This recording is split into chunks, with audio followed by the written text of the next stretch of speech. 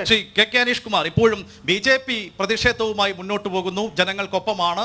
പക്ഷെ അപ്പോഴും കേന്ദ്ര സർക്കാരിൽ നിന്ന് അനുമതി ലഭിച്ചേക്കും എന്ന രീതിയിലുള്ള ഒരു തെറ്റിദ്ധാരണ പരത്താൻ ഇടതുപക്ഷ സർക്കാർ ശ്രമിക്കുന്നുണ്ട്. അത് എത്രത്തോളം ശരിയാണ്? ഈ ജനസഭ ഇവിടെ ഉയർത്തുന്ന ചോദ്യം ഈ കേരയിൽ കേരളത്തിന് അനിവാര്യമാണോ എന്നുള്ളതാണ്. ഇത് ആർക്കാണ് അനിവാര്യം എന്നുള്ളതാണ് നമ്മൾ ചിന്തിക്കേണ്ടത്.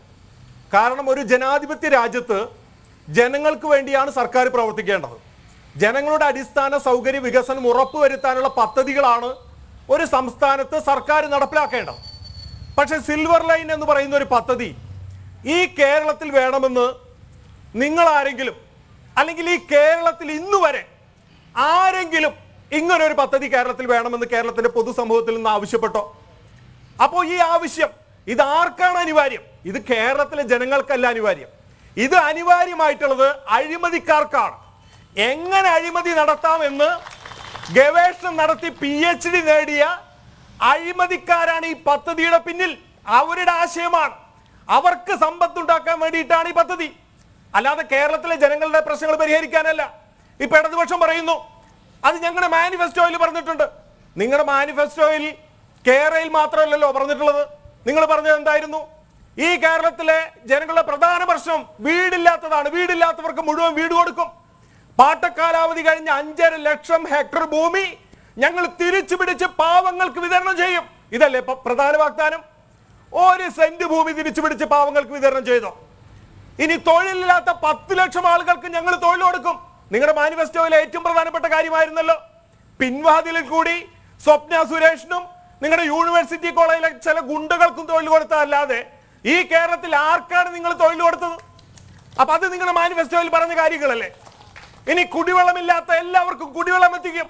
ഈ വേനൽക്കാലത്ത് കുടിവെള്ളം കിട്ടാതെ കഷ്ടപ്പെടുകയാണ് കേരളത്തിൽ ജനങ്ങൾ.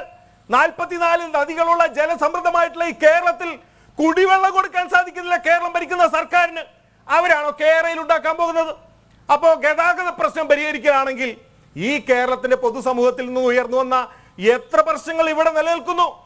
ഈ കേരളം സംസ്ഥാനം രൂപീകൃതമായി അറുപത്തഞ്ച് വർഷമായി. കാസർഗോഡ് മുതൽ തിരുവനന്തപുരം വരെ ഒരു നാല് വരി പാത ഉണ്ടാക്കാൻ സാധിച്ചിട്ടുണ്ടോ. ഈ കേരളത്തിലെ തൊണ്ണൂറ്റെട്ട് ശതമാനം ജനങ്ങളും ആശ്രയിക്കുന്നത് റോഡ് ഗതാഗതത്തെയല്ലേ ഈ അറുപത്തഞ്ച് കൊല്ലം കൊണ്ട് കേരളത്തിന്റെ ഒരറ്റം മുതൽ മറ്റേ അറ്റം വരെ ഒരു നാല് വരി പാത ഉണ്ടാക്കാൻ സാധിക്കാത്ത ആളുകളാണോ? മറ്റ് വികസിത സംസ്ഥാനങ്ങൾ പോലും മെനക്കെടാത്ത ഒരു പദ്ധതിയുമായിട്ട് കേരളത്തിൽ വരുന്നത്? യെസ് അനീഷ് കുമാർ അതിലേക്കൊക്കെ നമുക്ക് വരാം. കേന്ദ്രം അനുമതി നൽകുമോ ഇല്ലയോ? ഒറ്റ വാക്കിൽ മറുപടി. ഈ പ്രശ്നത്തിൽ വളരെ വ്യക്തമായി കേന്ദ്രത്തിന്റെ റെയിൽവേ മന്ത്രി കേന്ദ്ര മന്ത്രിസഭയുടെ പ്രതിനിധിയാണ് റെയിൽവേ മന്ത്രി. ഒരു വട്ടമല്ല രണ്ട് വട്ടം വളരെ വ്യക്തമായി പാർലമെന്റിൽ അസന്നിഗ്ധമായി പ്രഖ്യാപിച്ചു കഴിഞ്ഞു. ഈ പദ്ധതി വയബിൾ അല്ല. ഇത് പ്രകൃതിക്കെതിരാണ്. ഒരു തരത്തിലുള്ള പഠനവും നടന്നിട്ടില്ല. തട്ടിക്കൂട്ട് ഡി പി ആർ ആണ്. അതുകൊണ്ട് ഇത് ഒരു കാരണവശാലും അനുവദിക്കാൻ പറ്റുന്നതല്ല എന്ന്. വളരെ കൃത്യമായി പറഞ്ഞു